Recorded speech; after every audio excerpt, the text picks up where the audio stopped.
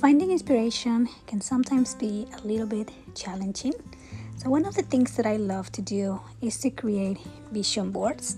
So, I gather all my laces, the papers that inspire me at the moment, and just do a little bit of sampling just to come up with some ideas on what to create next. I also like to use some fabrics, tags, and just anything that gets me inspiration to create a beautiful vision board.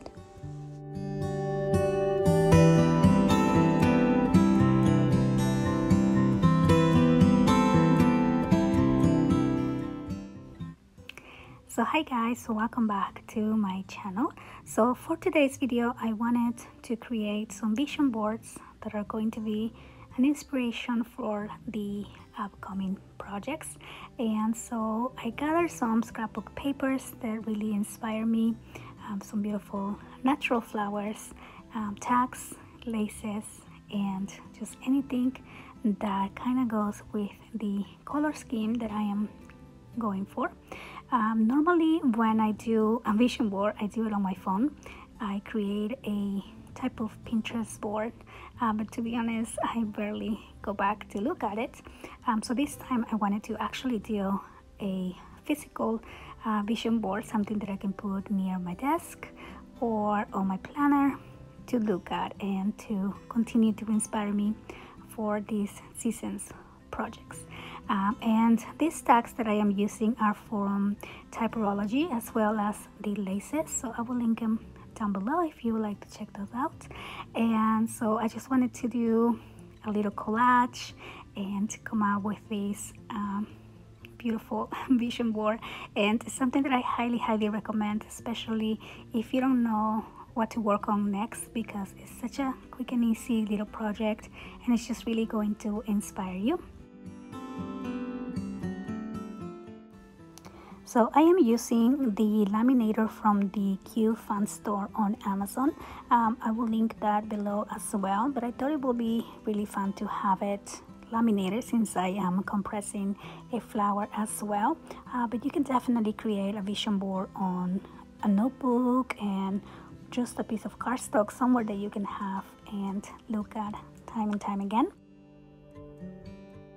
So one of the fun things about doing this project is that it was so easy and so relaxing. Um, I was spending some nice crafting time with my daughter and she decided to create her own vision board as well. And so this is the one that she is kind of putting together. So yeah so we really had fun making these vision boards. We ended up making quite a few.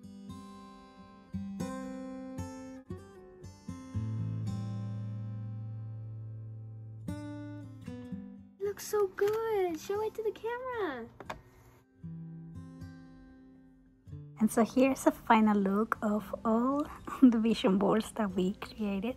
Really had fun picking different themes. We actually had a little challenge at the end.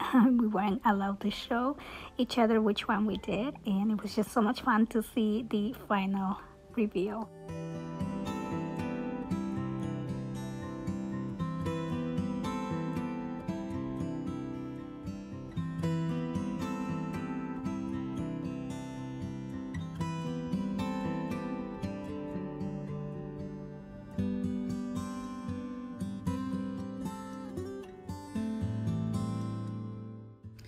So I went ahead and punched some holes out. So I decided to add one of these uh, vision boards to my planner. That way I can have it with me and I will probably keep the other ones near my desk.